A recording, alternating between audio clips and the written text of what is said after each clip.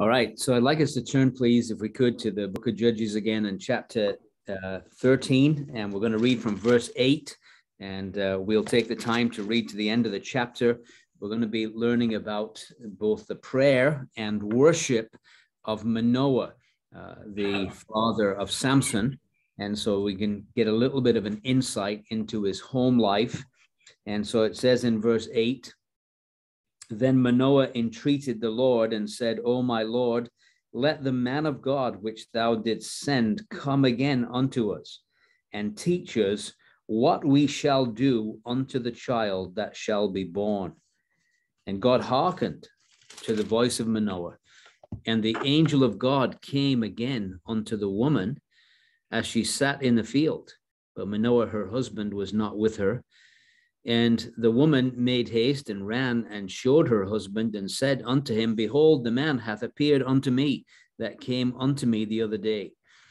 And Manoah arose and went after his wife and came to the man and said unto him, Art thou the man that spakest unto the woman? And he said, I am. And Manoah said, Now let thy words come to pass. How shall we order the child, and how shall we do unto him? And the angel of the Lord said unto Manoah, Of all that I said unto the woman, let her beware. She may not eat of anything that cometh of the vine, neither let her drink wine or strong drink, nor eat any unclean thing. All that I commanded her, let her observe. And Manoah said unto the angel of the Lord, I pray thee, let us detain thee until we shall have made ready a kid for thee. And the angel of the Lord said unto Manoah, Though thou detain me, I will not eat of thy bread. And if thou wilt offer a burnt offering, thou must offer it unto the Lord. For Manoah knew not that he was an angel of the Lord. And Manoah said unto the angel of the Lord, What is thy name? And uh, that when thy sayings come to pass, we may do thee honor. And the angel of the Lord said unto him, Why askest thou thus after my name, seeing it is secret? So Manoah took a kid with a meal offering and offered it upon a rock unto the Lord. And the angel did wondrously. And Manoah and his wife looked on. For it came to pass when the flame went up toward heaven from off the altar that the angel of the Lord ascended in the flame of the altar. And Manoah and his wife looked on it and fell on their faces to the ground. But the angel of the Lord did not more appear to Manoah and to his wife. Then Manoah knew that he was an angel of the Lord. And Manoah said unto his wife, We shall surely die because we have seen God. But his wife said unto him, If the Lord were pleased to kill us, he would not have received a burnt offering and a meal offering at our hands. Neither would he have showed us all these things, nor would, uh, as at this time, have told us such things as these. And the woman bare a son and called his name Samson. And the child grew, and the Lord blessed him. And the Spirit of the Lord began to move him at times in the camp of Dan between Zorah and Eshtaol. And again, God will bless that reading from his precious word to us this morning. So we, we get a little glimpse really into the family life of Samson.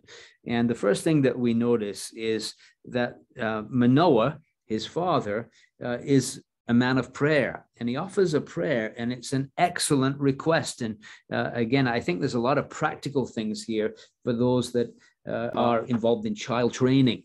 And again most of us on this call are probably uh, past that or beyond that but uh, we can pass this on to others that have children uh, the younger generation because it is a solemn thing uh, to raise a family for God. And so in verse 8, Manoah entreated the Lord and said, O my Lord, let the man of God which thou didst send come again to us and teach us what we shall do unto the child that is born. And so he, he really is asking, okay, you're going to bless us with this special child. Uh, show us how, how can we instruct it? How can we teach this child? How can we uh, raise it? We need help to raise him uh, the way that you would instruct us, the way you want us to do it. And again, what an excellent desire. uh, to raise children according to God's instructions. And he does have instructions for us in the word of God. And, and so, uh, he, again, we see the same thing in verse 12. Uh, where speaking to the man, he says, the end of verse 12, How shall we order the child? How shall we do unto him? And so, again, what a what a, an encouragement uh, for uh, for us to pray. Uh, pray uh, the camp here. There's a lot of young families, and uh, it's wonderful to see them bringing their children to be under the sound of the Word of God. But how we need to pray for them uh, as they seek to raise children in this incredibly difficult age. And just just as this is a difficult age the time of judges was a difficult age. And and so here's uh, manoah and he's praying for help to know how to raise this child. And again i i want to just say too what an encouragement uh, that samson is going to be born into a home where the father knows something about prayer again what a what a great example. And especially because when we see the background and the context of this day of departure uh, samson was privileged to be raised into a home where prayer was made. And uh, and so this man does pray. And he says uh, again back in verse 8 he says manoah treated the lord said oh my lord let the man of god which thou didst send come again to us and teach us what shall what we shall do to the child that shall be born. I want you to notice not only is he praying, but he has absolute faith that what had been announced, even though his wife was barren, would come to pass. He, he's a man not only of prayer, but a man whose prayer is accompanied by absolute confidence in God that he's able to do what he promises. And so he, he knows this child is going to be born. He's absolute confident uh, in the promises of God. And just like Abraham in Romans 4:21, he was fully persuaded that what he had promised, he was able to perform. And so again, he, Samson is born into a home of prayer and a home of faith. And that's great, isn't it? I mean, uh, again, how we want to pray for our younger generation that they would be homes that would be characterized by prayer and faith in the promises of God. That's a beautiful environment to be brought into the world in a home such as that. And then we notice in verse 9, just a simple point, but profound nevertheless. And God hearkened to the voice of Manoah. And isn't it wonderful that we have a God that delights to hear and answer prayer? and he does listen. And uh, his, his ears are are open to the cries of his children. Uh, he's not hard of hearing.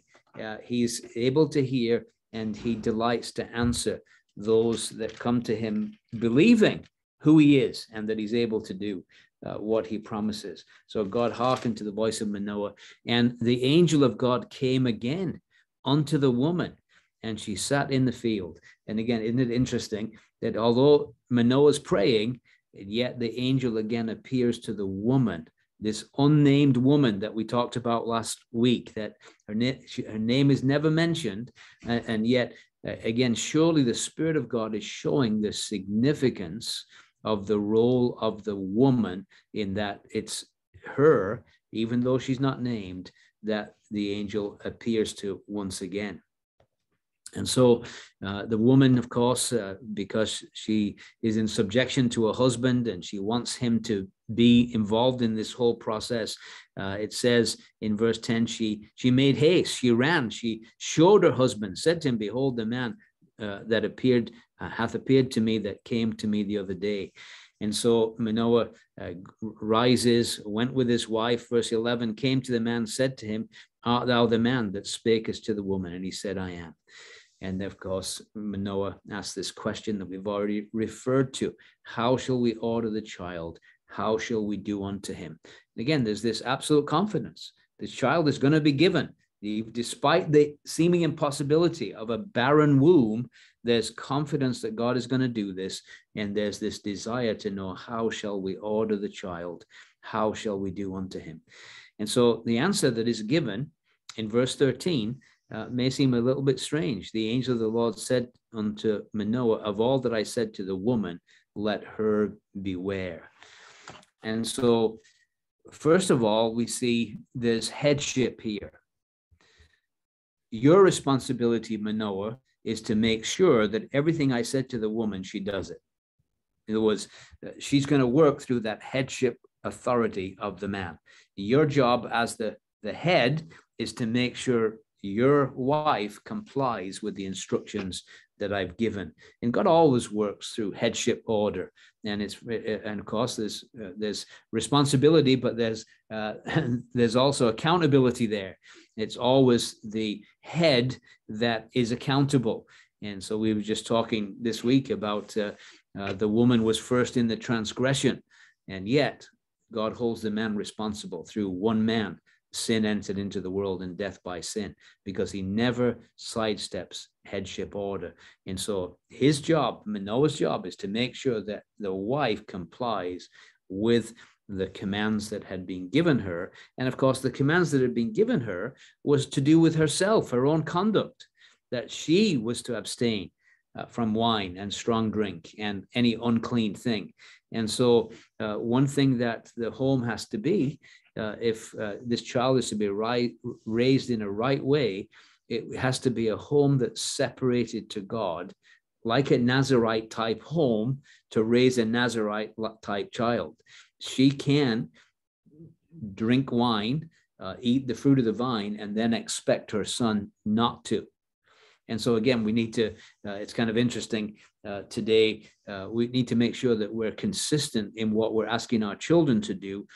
For instance, one of the big challenges for today's generation, and I know my, my grandchildren, uh, this is a big issue, is screen time. Uh, children are mesmerized by screens and they can get into all kinds of trouble with screens. So my son tries to very much restrict their screen time. But if mom and dad are on the screen all the time, it's not giving a good example, you see. So they've got to not only not allow the children to do it, but they can't be mesmerized by it themselves either, right? So they've got to set the example. And so the whole idea here is that uh, that Manoah and his wife are to set the, the tone in the home. And it's unreasonable to expect conduct from the children that the parents are unwilling to do themselves. And so her responsibility, it quite clearly, uh, as we saw previously, is for her to be separated. Uh, back in verse 7, uh, he said unto me, Behold, thou shalt conceive, bear a son, and now drink no wine nor strong drink, neither eat any unclean thing, for the child shall be a Nazarite to God from the womb to the day of his death. And again, what a challenge to us. You can't expect conduct in your children that you're not following yourself. uh, we've got to set the example, right? That's the, the idea of a Christian home is setting the tone, setting the example. And so certainly this is the instruction uh, that the angel gives let her beware of all that I said to the woman. Let her beware. Let her take it seriously.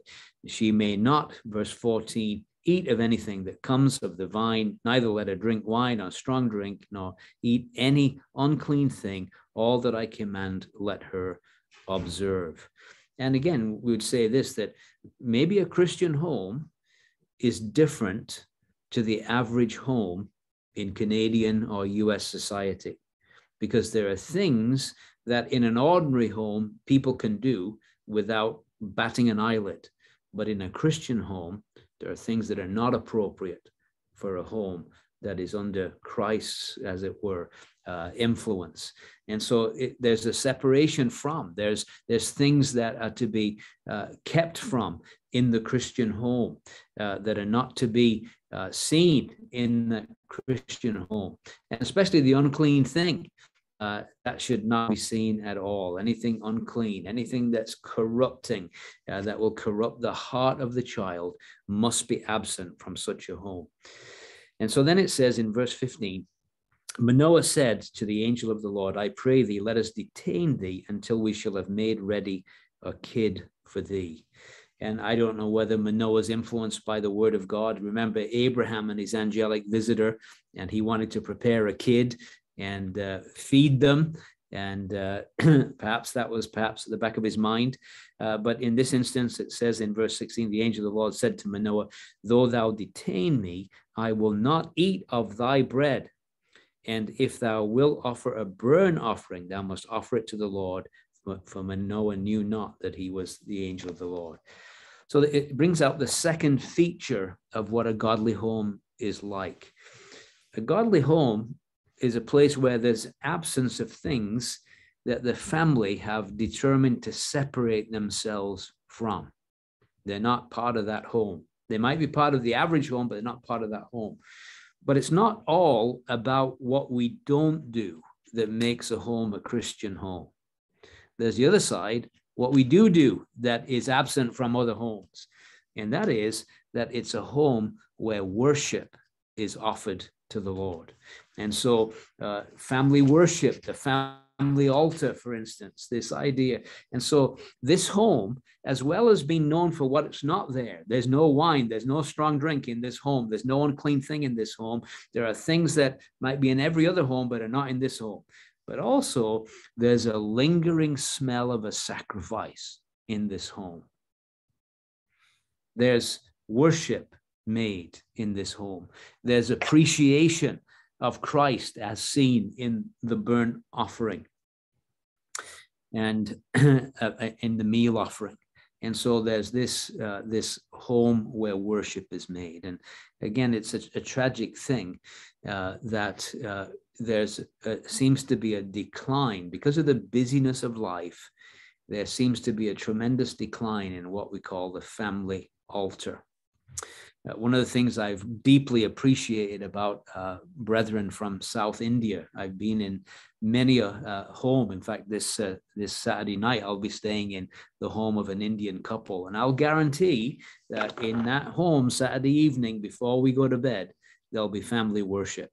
It's just a it's just a way of life in those South Indian homes, and they're doing a wonderful job of raising their children for the Lord, because not only is a separation from, there's a separation to. There's this this giving place to family worship, and so we read again in verse 15. Uh, uh, uh, 16, the angel Lord said to Manoah, uh, I will not eat of thy bread, but if thou offer a burnt offering, thou must offer it to the Lord. So Manoah said to the angel of the Lord, What is thy name? That when thy sayings come to pass, we may do thee honor. And again, another uh, confession of the faith of Manoah. Yeah, he wants to know more details uh, about the name of the, the angel, but nevertheless, there's absolute confidence. Uh, we want to honor you when your sayings come to pass. And so, again, we just see this deep faith in Manoah, uh, not like Zechariah when uh, the angel appeared to him uh, concerning Elizabeth, uh, where there was a doubt. Here, there's no doubt, there's absolute confidence. And so we want to honor you. What is your name? Of course, we, we looked at this a little bit last time. The angel of the Lord said to him, Why askest thou after my name, seeing it is secret? And uh, we saw elsewhere that that uh, word secret is translated uh, wonderful. And of course, uh, this is a manifestation of the pre-incarnate Christ. And we often say, his, he is wonderful. What a wonderful Savior is Jesus, my Jesus. What a wonderful Savior is Jesus, my Lord. And He is wonderful. And we, we should never lose the wonder, not only of the work of Christ, but of the person of Christ. Uh, that should constantly thrill our souls. And so uh, it, it's secret, it's wonderful. So Manoah took a kid uh, with a meal offering and offered it upon a rock to the Lord, and the angel did wondrously. Again, connected, same uh, connection with the word secret here, did wondrously. And Manoah and his wife looked on. And you can just imagine as they witnessed this event. Now, he's going to detail what he means by the angel doing wondrously. But again, it's the same word as secret in verse 18. The angel did wondrously. For it came to pass when the flame went up towards heaven from off the altar that the angel of the Lord ascended in the flame of the altar, and Manoah and his wife looked on it and fell on their faces to the ground. And again, it's another idea that this is Christ uh, in his pre incarnate form. And true worship, in a sense, is bringing Christ before the Father, isn't it? This idea of ascending, the Son ascending to the Father. When we pray, what do we do? We we bring the, the aroma of Christ before the Father in heaven.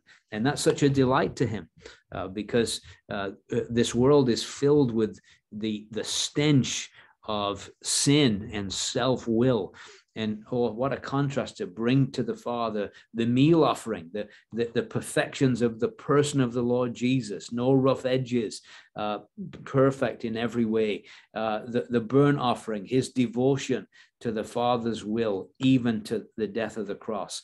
And so as we as we worship what do we do? We we bring to the father that which pleases him most and that is uh, his lovely son. And so he ascended in the flame of the altar and manoah and his wife looked on and they fell on their faces to the ground.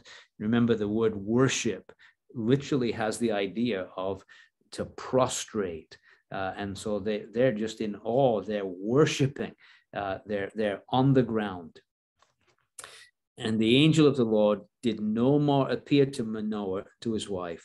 Then Manoah knew that he was an angel of the Lord. He knew that this was uh, this special manifestation of the angel of the Lord, the messenger of the Lord, uh, the uh, none other than this Christophany or the pre-incarnate Christ. And Manoah said to his wife, "We shall surely die, because we have seen God. Now, again, let's just think about that. Uh, again, it's another affirmation of the deity of the Lord Jesus. And he wasn't wrong in what he said. We've in, in the sense that we have seen God. Uh, he was correct in that. He was wrong in the assumption that he was going to die because he'd seen God. And there's certainly that sense uh, in the Jewish mind uh, they they believed that nobody could look upon God and live. That was common understanding of the Jews. If you look back at chapter six of Judges and verse 22 and 23, you get a similar idea. When Gideon perceived that he was an angel of the Lord, Gideon said, Alas, O Lord God, for because I have seen an angel of the Lord face to face. And so he again he was fearful. I've seen I've seen I've seen God. What's going to happen? And the Lord said to him, Peace be unto thee, fear not, thou shalt not die. But again, he was thinking, I'm going to die. I've, I've seen the, as it were, the, uh, seen God.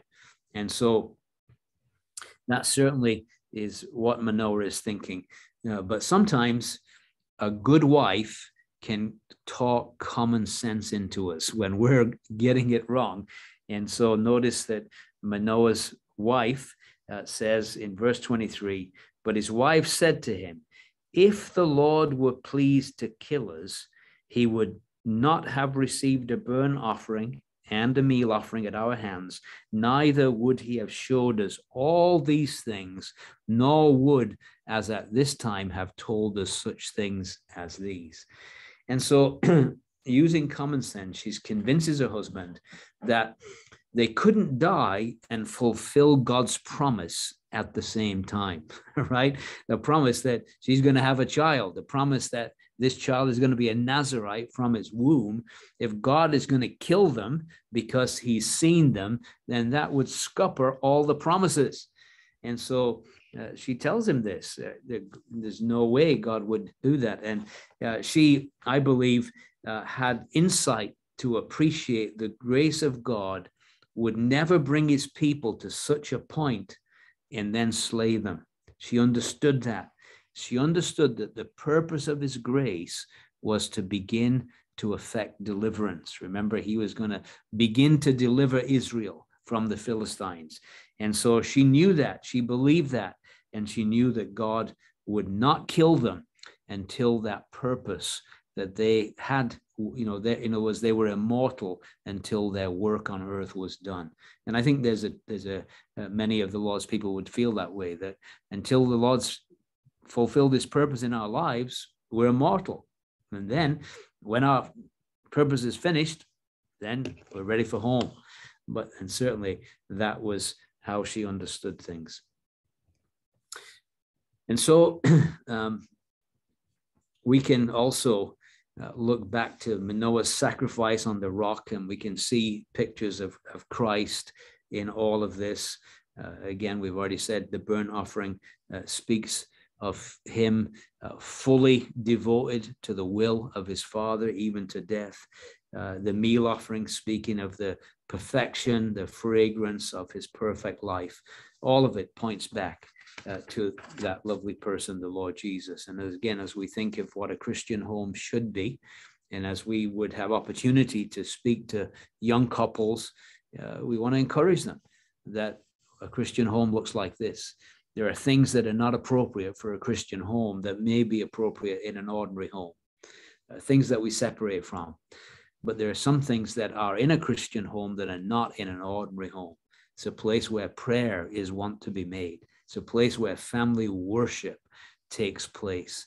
And so these are things that we need to encourage and especially encourage the family altar.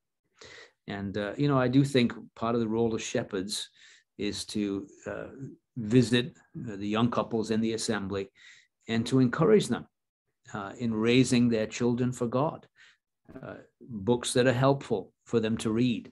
I've been talking to some of the people here about uh, books that were very helpful with our own children when they were younger, uh, daily devotionals we did with them, uh, uh, books, little biographies that were helpful.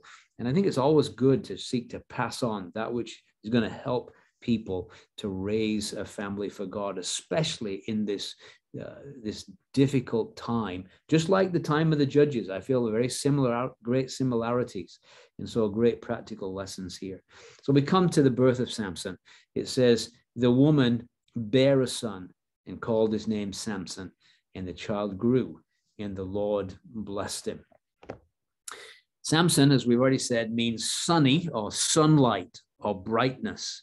And no doubt he brought sunshine into this home uh, that had so long been childless. And you can imagine, especially in that Jewish culture where it was such a reproach to not have children, uh, to have this, this little boy born as a, into this home. And uh, I'm sure that uh, he was the sunshine of their lives. And so uh, they, they, they called him Sunny. And um, in a sense, he was not only to bring some sunshine into their lives, but he was also set apart to bring light into the darkness of the evil days of judges. Uh, he was to be, a, he was meant to be set apart to be a light for God in a dark, dark time. And so that's what his name means. And the sad thing about it really is that the man that was to be sunny died in darkness with his eyes put out by the Philistines. And it was kind of a sad ending, really. We'll see that when we get to chapter 16 and verse 21. What a contrast with the Lord Jesus, because uh, he's just, he's going to get brighter and brighter. And the verse that I have in mind, and one that we've studied previously when we looked at the book of Malachi, if you look the last book of the Old Testament, lovely scripture, Malachi chapter 4, verse 2, speaking again of our blessed Lord Jesus. And what it says concerning him is not going to be any diminishing of his sunshine, his glory, his brightness. But unto you that fear my name shall the Sun of righteousness arise with healing in his wings, and ye shall go forth and grow up as calves in the stall. And again, the Sun of Righteousness. And again, I believe that what was seen on Transfiguration Mount, where the Lord Jesus shining brilliantly in all his glory. This is what's going to be seen in the coming day when the Lord Jesus comes back to reign on the earth. And remember that even uh, Saul of Tarsus, when he saw the Lord Jesus on that uh, road to Damascus, uh, he said that his his visage was was greater than the midday sun in the Middle East. Such is the radiant glory of the Lord Jesus. And yes, there'll be no diminishing of that glory at all. Such will be his brightness. And so it says the child grew and the Lord blessed him. And again, the Lord will bless this kind of home where the children are set apart for God and his service, uh, where there is prayer, where there is worship. It says the child grew and the Lord blessed him. And again, we get a little similarity uh, to the Lord Jesus in that this is all we get of Samson's childhood. Right? It's interesting, isn't it? That his growing years, his developing years, we don't we really don't have anything other than this. The child grew and the Lord blessed him. And I don't know if it immediately jumps to your mind, but remember the Lord Jesus, the 30 years, uh, what we call the, the silent years, where we know very little about what happened in that home in Nazareth. We just get one little glimpse in Luke's Gospel, chapter 2, and verse 41 uh, down to verse 51 and we'll just take the time to read it but this is this is all you get of the upbringing of the lord jesus it says his parents went to Jerusalem every year in the feast of the Passover. So again, they were a faithful couple. They they understood the responsibilities uh, that were theirs to be at the feasts. And when he was 12 years old, they went up to Jerusalem after the custom of that feast. And when they had fulfilled the days, as they returned, the child Jesus tarried behind in Jerusalem, and Joseph and his mother knew not of it. But they, supposing him to have been in the company, went a day's journey and they sought him among their kinfolk and acquaintance. Isn't it amazing that they went a whole day without any consciousness of the presence of the Lord Jesus? That's not a good thing to do, is it? We should never go a whole day without an awareness of the presence of the Lord Jesus in our lives. A whole day's journey. And when they found him not, they turned back again to Jerusalem seeking him.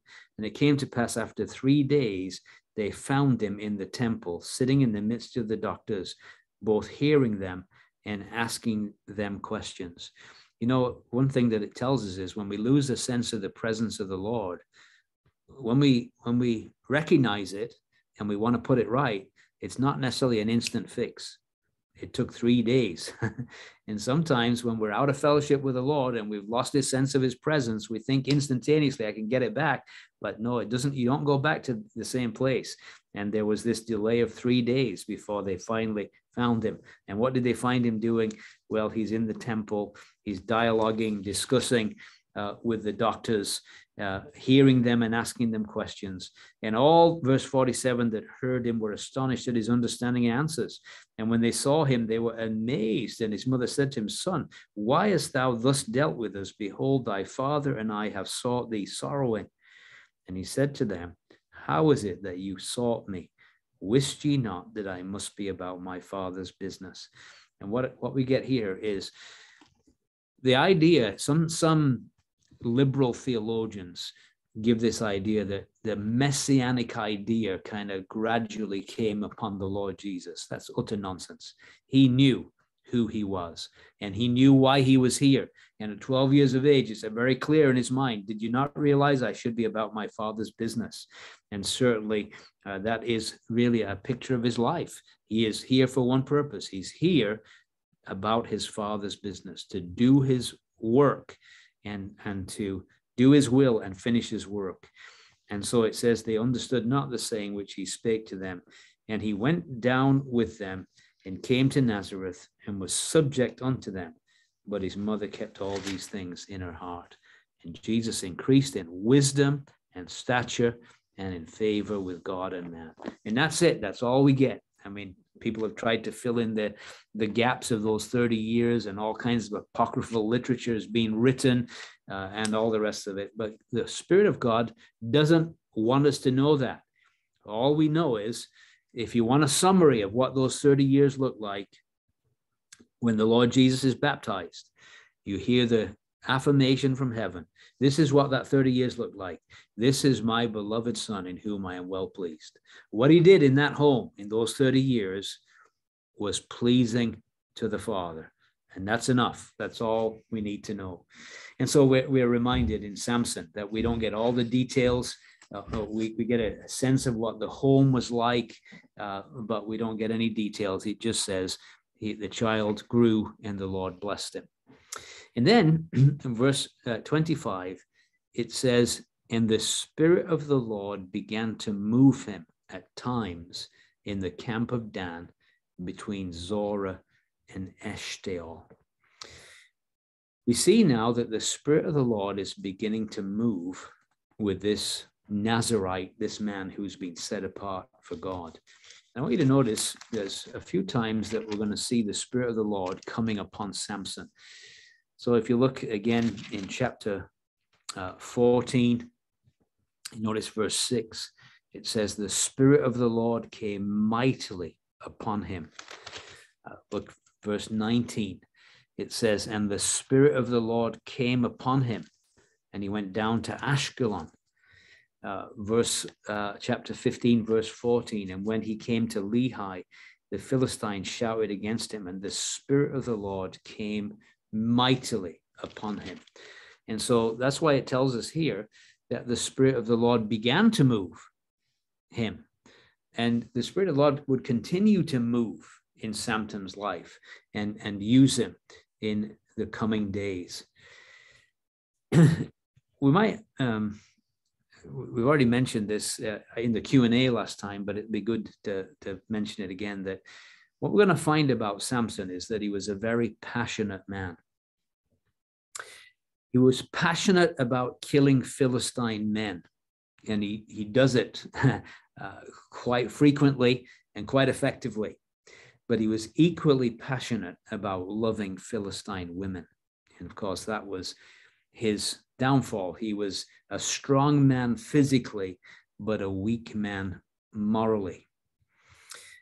But another practical lesson that we want to get before we finish this little section is for many a believer that's raised in a Christian home, saved as a child,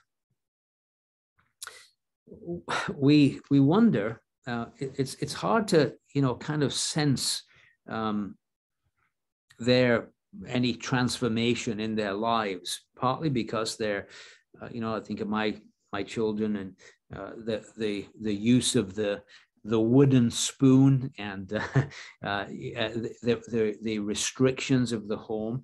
They didn't have a lot of opportunity uh, to do wild things, right? They were kind of, in a sense, hemmed in.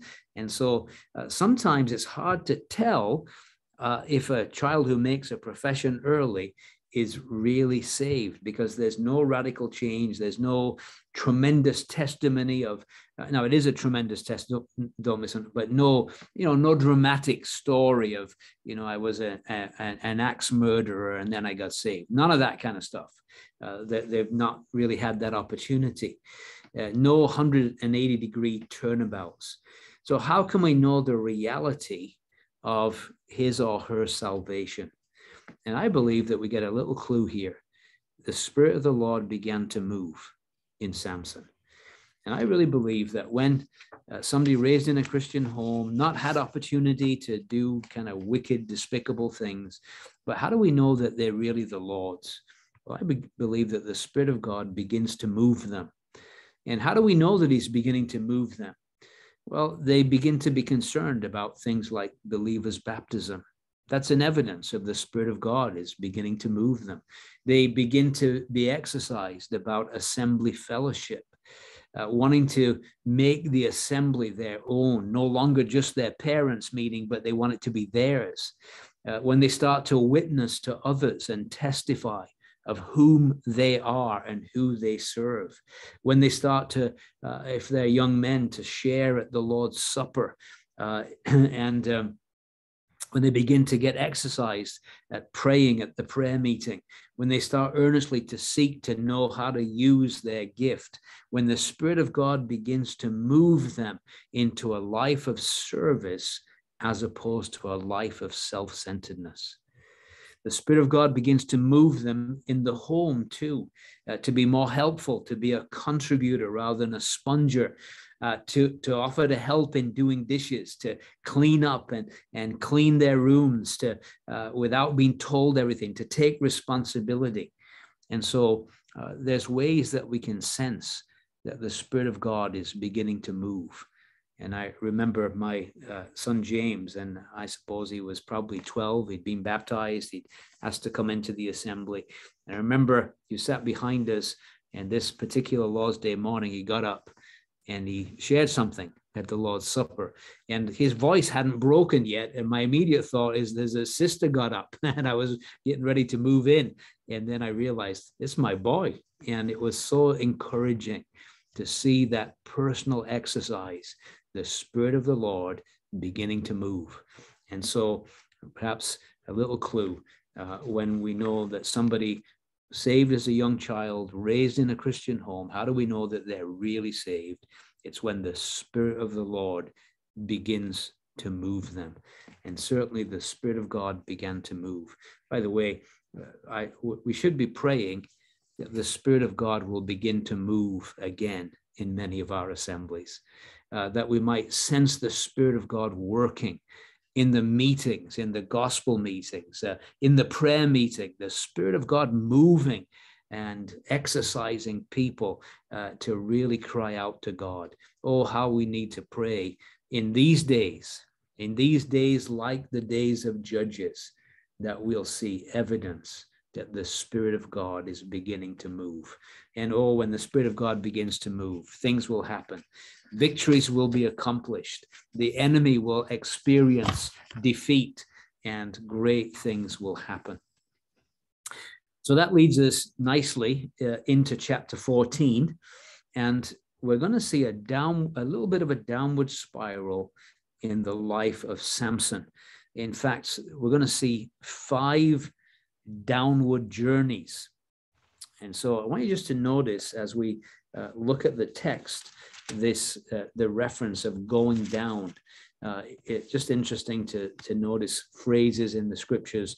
And so, chapter 14, verse 1 and Samson went down to Timnath.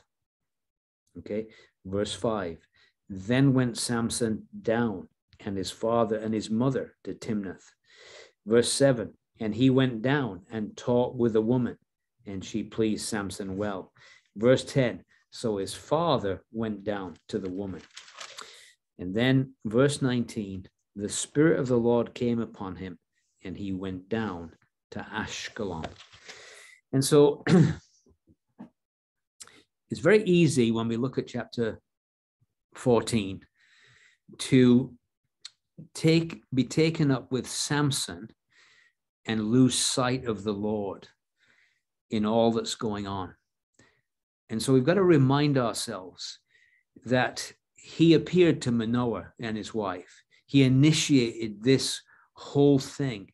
And here in this chapter, the Lord is revealing something that was hidden from Samson and his parents. And it's a key to understanding the events that followed. And that key is given to us in verse 4. Notice verse 4, it says, His father and his mother knew not that it was of the Lord that he saw an occasion against the Philistines. For at that time, the Philistines had dominion over Israel.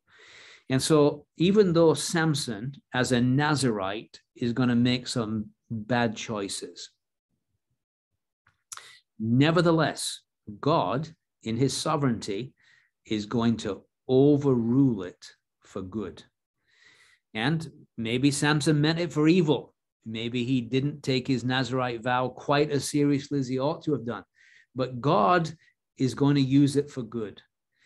And that was not hidden, it was hidden completely. In fact, you can sense as we go through this chapter, perhaps the, incredible disappointment uh, that Sonny was bringing to mom and dad after such high hopes.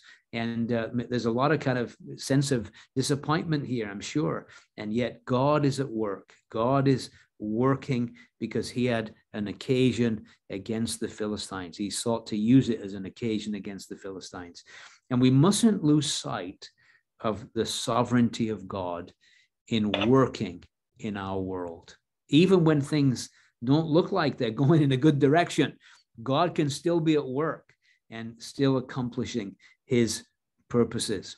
And so the Lord was seeking an opportunity. He was uh, seizing the opportunities in a sense. The days were evil, and we're reminded for us to redeem the time because the days are evil.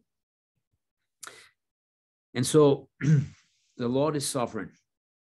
It doesn't mean that he approved of Samson's actions in any way and his relationship with the Philistines. The word of God is clear uh, in the Old Testament as well as the New Testament uh, that a child of God uh, should not be unequally yoked with unbelievers. There's absolutely clarity about this. And yet, God is even able to bring good out of the most unpromising circumstances. And so the sin of Samson was not of the Lord, but the deliverance wrought by it was of the Lord. Not the evil, but the good elicit, elicited from it was of the Lord. And so we need to understand that. God is able to make the wrath of man to praise him. Psalm 76, verse 10. And we, we can say this God is definitely never the author of sin. I think that's important for us to understand that. Never is he the author of sin, but in his sovereignty, he's able to overrule circumstances for his glory. And we think of that great story of Joseph and the sin of his brethren. You meant it for evil, but God meant it for good.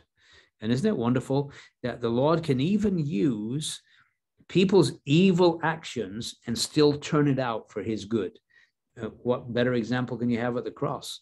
Wicked hands have taken and slain, but God turned it around and made it a great blessing. Even satanic hordes surrounding the cross, thinking that they were winning a great victory. And yet God turned the whole thing around and used it in a glorious way that's impacted our lives to this very hour. And so, again, we must have confidence uh, of uh, God's working. Now, again, just a note on the sovereignty of God. It doesn't mean that uh, God uh, has takes away freedom of choice from individuals. Uh, he doesn't make Samson fall in love with Philistine women. But what it shows is that God is able to give individuals free choice, free will to do these things that are contrary to his will, and he's still able to overrule in the affairs of men and take men's choices, even bad ones, and still work it out for his ultimate purpose. And to me, that's more worthy of worship than a God who controls every little movement. You know, he's kind of this global Game Boy player who's manipulating everything and doesn't allow free will. We're just robots, just doing what he tells us to. I mean, to me, that's that's uh, that's no glory to be a, a, global Game Boy player, but to allow people free choice and free will and still able to turn it around and work it for his own glory and for his own purposes. And so there are some journeys in this chapter. And the first journey we read is in verse one. And Samson went down to Timnath and saw the woman in Timnath of the daughter of the Philistines. So it's it's about four miles from his home in Zorah. Uh, it was allotted to the tribe of Dan uh, in the past. And so it shouldn't have been a Philistine city in the first place if the tribe of Dan had have done their work properly. If you look at Joshua 19 and verse 40, Joshua 19 and verse 40, it says, And the seventh lot came out for the tribe of the children of Dan according to their families. Verse 43 and Elon and Timnatha, that's our Timnath that's mentioned here, and Ekron. And so it was part of the allotment that had been given to Dan, but we recognize uh, again from our own study of the book of Judges that Dan failed miserably in claiming their inheritance, verse 34 of chapter 1. The Amorites forced the children of Dan into the mountains, for they would not suffer them to come down to the valley. And so the Philistines controlled the city that was really part of Dan's heritage. And yet, according to Hebrews 11, and we don't want to lose sight of this, Uh, Hebrews 11, let's just look at it, just remind ourselves. And verse 32, we have to be reminded that we're talking about a man of faith. Uh, and what shall I more say? For the time would fail to tell me of Gideon and of Barak and of Samson and of Jephthah, of David also, and Samuel, and of the prophets. Now, I, I just wonder, by the time we get done finishing Samson's life, how many of us, if we were writing Hebrews 11, would have put him there? How many of us would have called Lot righteous Lot in Second Peter? I doubt any of us would. And so, wonderful thing is that even in failure, God still sees when there's faith in the heart of an individual. And it's a wonderful thing to be assured of that.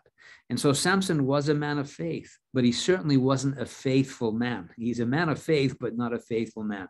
He was unfaithful to his parents' teaching, and he was unfaithful to his Nazarite vow and to the laws of the Lord. His downward steps will demonstrate his disregard for these influences in his life. And the consequences, of course, for him as an individual uh, would be clear. Uh, he's going to lose his sight. Uh, notice it begins with an emphasis on sight. It says he went down to Timnath and saw a woman. and so it begins with sight. It's going to end with him losing his sight because his eyes got him into a lot of trouble uh, he wasn't taking heed uh, to that lovely little song that we have in Sunday school Be careful, little eyes, what you see. For the Father up above is looking down in love. Be careful, little eyes, what you see. He wasn't very careful about what his eyes were seeing. And we need to be careful about what our eyes see. We need to make a covenant with our eyes, like Job, that we do not look on a woman to lust after her. But certainly, uh,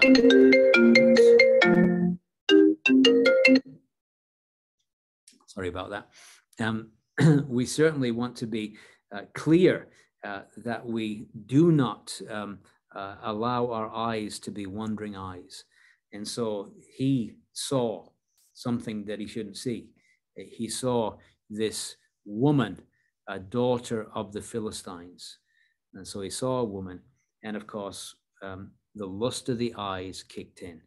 He saw this woman, he was attracted to this woman, and uh, and so uh, the, the lust of the eyes. One of the things we got to watch out for: beware the lust of the eyes. He was walking by sight, not by faith. At this moment, for sure, he saw this Philistine woman, and he was clearly smitten by her. He's completely smitten by this woman. And so um, he's in the wrong place in the first place when he sees this woman. He's going down to Philistine territory. He's in the wrong place physically, and he's in the wrong place spiritually as well. And there are places that Christians ought not to be. And if they go to the wrong places, they'll be confronted with wrong things. And certainly this is what he does. And he ends up making wrong choices. And so, again, we've got to be careful, not only what we see, but careful where we go, because it can get us into a lot of trouble and it can end up making wrong choices. Everything about the proposed relationship was wrong, everything about it. And yet, notice verse 2 he came up and told his father and his mother. Now, I want you to notice the language of that he, he didn't come, he, he tells his parents, fair play to him, at least he tells them, uh, at least that's a good thing, but he, he didn't seek their counsel. It says he came up and told his father and his mother and said, I have seen a woman in Timnath of the daughters of the Philistine. Now, therefore, get her for me to wife. Uh, you wonder, uh, because he was this special child, and yes, he was certainly not allowed wine and strong drink, but you wonder, did he get spoiled a little bit from his mom and dad, you know, because he's this special child, you see, and an only child and a special child. and he's used to getting what he wants. And so he says, Get this woman for me. She pleases me well. And so he certainly is not in any way seeking their blessing. He's not seeking their approval. He's not seeking their counsel. He's demanding. He told his father and his mother, said, I've seen a woman. And this is, we got to really watch out for this that sometimes when the lust of the eyes kicks in, it's followed by self will. I'm going to do what I'm going to do. Even if it's against all godly counsel or whatever, there's this determination I'm going to pursue this, I'm going to do this. And certainly, we're going to see that that is the case with Samson. But we're going to have to wait till next time for the rest of the story because our time is gone. And again, great lessons, lessons for the home, uh, lessons for all of us about be careful where we go and be careful what we see. May God encourage us with these thoughts. Amen.